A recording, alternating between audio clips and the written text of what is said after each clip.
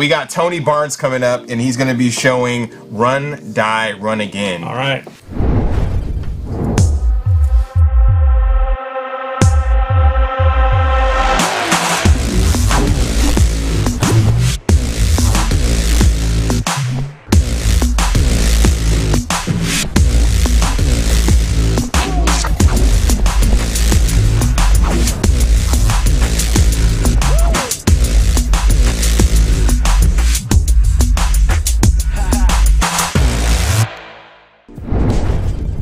And we got Tony Barnes on the line. What's up, man? What's going How's it on? going, Jeff? Good, good. It's great to have you back. We had you on the very first uh, Black Voices in Gaming, and you're back, and you've been busting out a bunch of stuff. You've been working on Run Die Run Again and a, and a few other uh, prototypes. How has everything been going with development? Hectic. like you said, man, I got uh, uh, basically like two and a half games on the go, and there's just uh, one of me. Yeah, for sure. And you're Uh, doing 100% of this all on your own?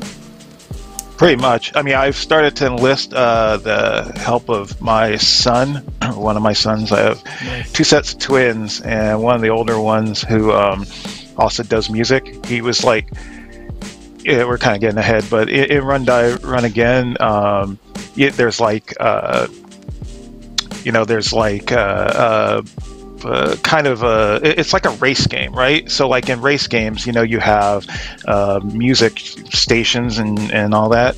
And so, um, my son makes different kind of music than I do, uh, but he still makes some cool music. Uh, this B-roll does not have music, you know, uh, because I thought it, we were just going to yak over it. But anyway, um, so he was going to be making some music for me and all this stuff, but he's been uh, messing around with Unity, which this is, uh, for uh, about a year or so now. And um, so he's kind of helping me out as the game grows and becomes more refined away from uh, the prototype that I started with. But yeah, for the most part. Yeah, you've Just- been in the business for over 30 years. One thing that I like, which, which, which I thought was dope and hilarious at the same time, is you did 28 days of Tony Barnes, which was uh, magnificent. Every day of February, Black History Month is Tony Barnes Day, and you you had a game a day, and those were not whack titles. Like those were some dope titles. Can you, you kind of shed light on a little bit on your uh, history for folks who don't know about it? Okay, yeah. So uh, Tony Barnes uh, has been doing it. Actually, this will be the 36th year professionally. Um, that I've been making games, Wow. and uh, yes, I started in uh, uh, well, I started in '85 professionally, but before that, um, I was in sixth grade, which was uh, when the hell was that? Anyway, Long time um, yeah. and so you know they put computers in schools and uh, apple iis actually and nobody really knew what to do with them. And uh, you know outside of playing oregon trail and shit so uh, or stuff. So um, i said yeah i know how these things work but i didn't really know how it worked. Uh, but i learned really quickly because uh, it was faster and easier to animate things on the screen than it was what I was doing, which was doing like uh, straight up uh, pencil, you know, like old school 2D animation, and then I was doing, um, uh, I was doing like, uh, uh, you know, a lot of. I, I wanted to grow up to be an animator and um, sort of make movies like Ray Harryhausen, you know, uh, Clash of the Titans, and all that fun stuff, doing stop motion. And along come the computers, and it was like, oh, well, I can move stuff faster. Hey, people like playing stuff, so I'll make my Pac-Man, I'll make my Space Invaders, and people really liked it. And I was poor. I was like dirt poor. So uh, I would make these games, and then I would sell them to kids at school. So I got lunch money. Wow. And so that's kind of how it started in sixth grade when I was 12 crazy. And then professionally eh, um, when I was like 15, um, I had uh, done some stuff on a friend's Atari, and uh, it was more like a friend of me, really. You know, like uh, like Cartman. yeah. yeah, he was one of those guys that uh, had everything, didn't appreciate it, and all that, and was happy to have me over so he could show off everything that he had. Yeah, I know what you're talking about. But you know, I would I would write on binder paper everybody. my games, you know, and I would write down um, all the sprites and everything, and and then I would walk over to Homeboy's house, and I, I would take his crap, telling me, you know, how much better than, than me he was, and all that fun stuff. Now I wasn't going to be anything uh, from making these little games, but then, haha. Here I am, 36 years later, and the last time I saw Homeboy, um, uh, he was a petroleum expediter. I mean, I got nothing against people that you know work at gas stations and all that fun stuff. But you know, if you're going to puff up your chest and tell me I'm not going to be anything, um, the next time I see you, you shouldn't be you know filling my gas tank. Just Damn, he's throwing shade on the stream. That is a that is so amazing. I'm you said sorry. petroleum expediter. Patrol. I've never heard. I have never heard that. That was like that's, that's awesome. that was I'm very colorful. that one. I'm gonna steal that. So how did you? So you like fast forward to AAA. You did so much stuff in in AAA and working with like uh, at big companies and stuff. Can you talk a little bit about that and how you transitioned into indie games? yeah, it's crazy. Um, uh, I always looked a little older. Um, oddly enough, I don't, eh, people tell me I look younger than I, I do now. But back when I was younger, I looked older, so I could get in the bars. And there was a bar You that got that land, real quick. You got that Lando look. You know what I mean? Oh yeah, thanks. That's good. I like that. You know, back in my day, seriously though, there weren't there weren't many there weren't many um uh, role models for uh, for my gen. You know, um, um, people nowadays, '90s babies, you know, grew up with a whole bunch of people on the screen and all that stuff, and we're just now getting into games and getting more black faces on on screen. But really, when I was growing up, there was um, Billy Dee, you know, Sexy Lando, and um, uh, there was uh, uh, uh, the dad from Good Times and uh, Jefferson. so that was that was it. So you know, you saying that I got the Lando thing, I'm, I'm, I'm cool. James. So uh, so yeah, I, I, I was in this bar, and uh, so were these other guys that were around my age. So none of us were supposed to be in that bar. Come to find out. Um, we were all like Prince fans, and Homeboy had a company that he was starting up called Visual Concepts, and was like, "Oh, you should come with us and all this and do this." And then I didn't really go with Visual Concepts, uh, but we kept in touch, and um, I told you I had two sets of twins. So one of the the, the sets of twins came um, in uh, 1990, and uh, you know you can't just be out there. Um, kind of living from paycheck to paycheck, uh, doing spec work and all that fun stuff. So I needed to find a real job. And uh, he introduced me to people at Electronic Arts who were looking for somebody that could program, maybe do a little art, and definitely design. And I said, well, I can do all that.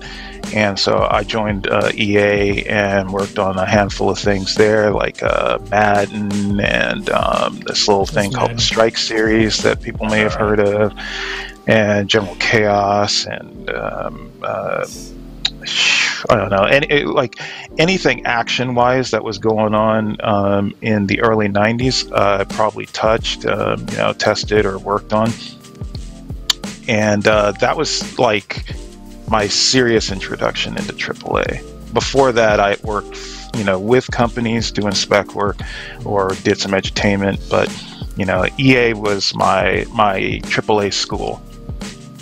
Uh, and what EA is um, really good at teaching you, at least uh, certainly back then, was um, how to uh, scope and hit dates. Because back then it was like, um, here's a line in the sand, and um, here's your box. Make your game that fits in that box, right? Uh, versus a lot of stuff nowadays is I've got an idea, and then you just kind of plow forward, um, Yeah. fleshing out the idea. And, and the problem with that, especially for AAA, is that things are costing you know like two, three hundred million. so Yeah, yeah. you can't really you can't really uh, work that way. But it teaches you some discipline. And so uh, yeah, Electronic Arts, uh, Crystal Dynamics, you know, worked on Legacy of Kain and uh, worked on a bunch of their stuff while they were transitioning from the 3DO and the Saturn to uh, PlayStation. So did you know like testing and stuff on Gex and and um, then let's see. Um, I don't know. It's been so much. Uh, Medal of Honor, Buffy the Vampire Slayer, Star Wars Episode Three, um, uh, Strider, Strider 2014. Yeah, uh, super dope. That was one of my faves. Um, yeah, you talked about the 28 days, uh, 28 games. I I woke up to Black History Month and said, hmm, you know, uh, and I, I just said it to my wife. I said, you know, I should just do a game a day. Um, I should pick out of the the sixty some odd titles I've done. I should just pick a game a day and just for fun. We need a sixty uh, day month Black History Month. Well, she's, you know, she's my biggest cheerleader, and she's like, you know. Um, why are you going to stop at 28? You know, she, she gets mad when I when I down you myself. You should do two months. You should have it bleed into March. I think that would be actually pretty amazing. You just, you should just drop a 30 more days, son. You know what I mean? well, we'll, we'll see. But you know, I'm a little a little busy. Like I said, uh, two and a half games and uh, just the me for the most part. Um, and yeah, like uh, Run Die Run Again is. Um, in transition, which is why I uh, I couldn't get you guys a uh, a playable because I broke the game. Um, but I broke it for good for a good reason. It's it's going through transition and going to be uh, yeah. We're dying to play it. Yeah. Yesterday uh, we showed it on Game Changers with Twitch, and um, Cup of Noodle was like she really wanted to play the action, you know, um, action paced uh, runs and stuff. So we can't wait to uh, get our yeah. hands on it it, it's um, um what, what, would you? It's a fun is, game. Yeah. Sorry. Go on. No, go ahead. I was I was just saying, what would you say is the like biggest misconception of people trying to get in this industry of like making games and building games? Like people think like, oh, I got an idea for a game, I can. That's that's your number one. Uh, so there's uh, two things. We'll, we'll, we'll start with the number one real quick, which is um, that I have an idea, right? And I say this a million times, and I'll say it again ideas are free, but execution costs. So everyone has an idea. Um, but it's important that you can actually execute on that idea, that you can decide this fits the idea, this doesn't fit the idea, and what it takes to actually make that idea into something you know that you can actually see and play and touch and hand to people. Uh, so it's not just about the idea. Uh, a lot of a lot of my contemporaries get mad that I, I they think I'm downplaying the idea. Ideas are great, but like I said, everybody's got one, and I come up with ideas. I don't know. I, I can be walking down the street and look at a, a crack in the cement, and I can come up with an idea. But that you know, you have to make it, right?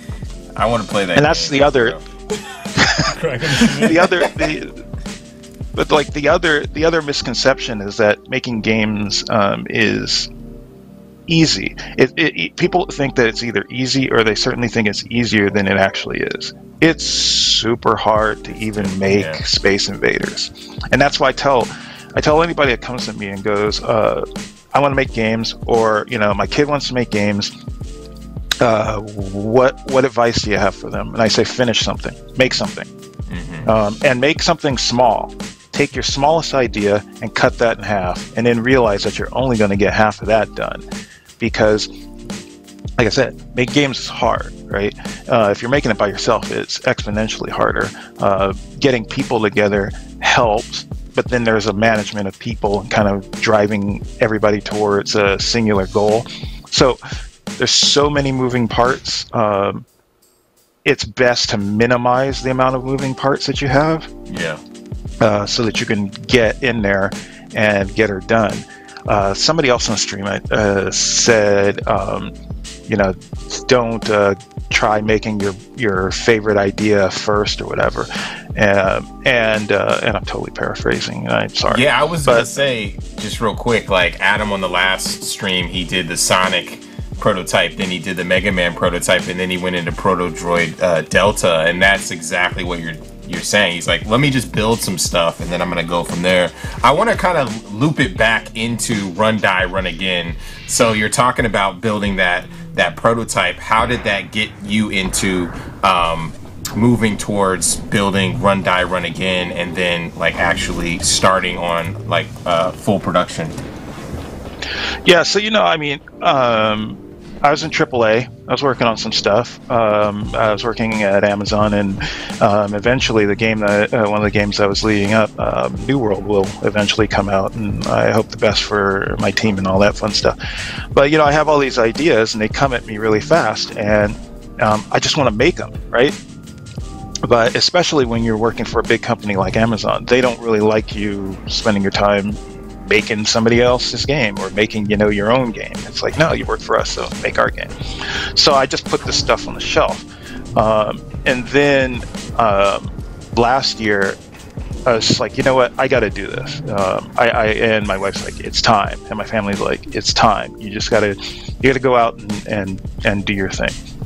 So I'm sitting there going, okay, I have all these grand ideas, right? Even I, even I, with all my advice, I, I, have these grand ideas and I have my magnum opuses that I want to make. And then I have other things that are really just about kind of experimenting uh, with ideas. And um, I love running around in Destiny. I love the way everything looks when I'm running around Destiny. I love all these movement options. I love shooting through the gun too, but I didn't want to do all that. I was like, what can I do that allows me to run around like that. And then I also love platformers and you know games like Super Meat Boy and stuff that are um, uh, a little hardcore. Um, I don't like the super hardcore, but I like um, I like tough ones. This footage is not making it look tough, by the way. I should have probably died more often. Um, but uh, you know, so uh, get all these things together, and I think to myself, well, what can I do, right? Um, regardless of my years in the biz and all that fun stuff and what I can do, uh, you know, artistically and musically and all that, it uh, there's still a lot of things I can't do. Um, and uh, so animating is not my forte, even though I wanted to be an animator. So animating people not my forte. I was like, all right, first person. I don't have to animate people. Um, platforming. You know what? Uh, people are getting to the point where they can actually platform in 3D. Uh, so I want to make this. This thing used to actually be called uh, Super Meat Boy First Person for the longest time, and I just kind of started it that way. Now, that that goes counter to here's the box and fill in it I learned from EA, um, but that's part of my being indie now. Uh, me being indie, I can just go. You know what? I got an idea and and just you know, you know as long as I can uh, pay the bills, I can embark on said idea and, and explore it. So I wanted to um, explore moving around the space, um, you know, dodging things, it being a bit hardcore, um, and and kind of working on chaining together moves and building up momentum. So what you're seeing is actually sort of uh, my prototype of that. Now it's probably prettier than most people's prototypes, um, but that's also because I really like to do environment art and stuff. So, how did um, whenever, yeah. Uh, I was just gonna say, how did you add uh, diversity to the game culturally? So, uh, one of the things uh, which actually in this footage you've got the cyber hands, but um, you know all of the characters. There's a there's a set of characters that you can choose from, and each have their you know they're each diverse. I think there's a hint of it in the um, at the end of the trailer. You see a woman and she's she's vaulting over something, and she's black woman and all this, and like she's. Uh, when I look at the characters and uh, what I wanted to have in there, I was like, okay, I'm not gonna I'm not going to purposely have a whole list of uh, boxes to check, like, oh, got to make sure we have yeah. this covered, that covered.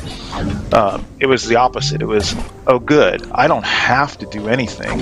Um, the only thing that I know I'm going to do is yeah. I know I'm going to put on a diverse cast of characters because if I don't, who who is? You know, I mean, like I've worked on stuff where it was like, no, you you know, you got to put this person in there, or you know, working on somebody else's um, IP. Uh, you know, I, I couldn't make the Mace Windu game. I had to make the Anakin and Obi Wan go at it game. Yeah. Um, so in this game, there's characters, and each character actually has their own set of movement. So, like you know, some of them have double jump or triple jump. Some of them have kind of like a Princess Peach jump where you jump and glide, and uh, you know, some of them have like time stop and all that. And they're kind of all it's all kind of tied into the to the character's character. You know, one like characters that aren't um, typical. Like you know, I, uh, the the the the woman that's a kind of spokesperson uh, that's on the, the end of the trailer. Her name's Nessa. Um, she looks like uh, like a real black woman. You know, she's kind of thick because I don't think there's enough of that. I, I yeah, really don't. Right. And, and yet, yeah, and she's not. Um, none of my characters are running around in, uh, with their midriff showing and and all that, and it's yeah. not I, am not knocking any game that does that. I'm not saying that I, I won't have a game where, you know, some woman's running around in a bikini or a guy's running around with no shirt on. I might, you know, who knows. But to me, if it doesn't fit, it doesn't fit. Yeah, you this is supposed like, to be this. in.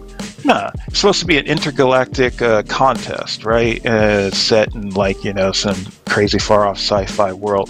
Um, why the hell would somebody be running around with their, you know, with their shirt all down here and all this with, right? but you can make characters that are appealing yeah. and, and realistic looking. Yeah. So. Well, thank thank you so much, Tony, for for hopping on board. Where can we find the game and look forward to having it? Uh, so such. So RDRA is uh, there's a Steam page um, which I think you guys are linking to in in all of this. Um, yeah, the media you can check it out. Media Indie Exchange. Uh, it's yeah. on Steam. We have a whole page that you can wish list, you know, or buy some of the other Bam, games. Yeah. There you go. Yeah, and um, and you can check out um, all kinds of information on retroninja.com about me and the games going forward. Uh, I uh, uh, run dice uh, going to be towards the end of this year. Okay. And I have another game um, that we really don't have time to cover and all that fun stuff. Uh, but it, you know, it's a little more. We are going to have you on multiple times, so you don't have to worry about. you know what I mean?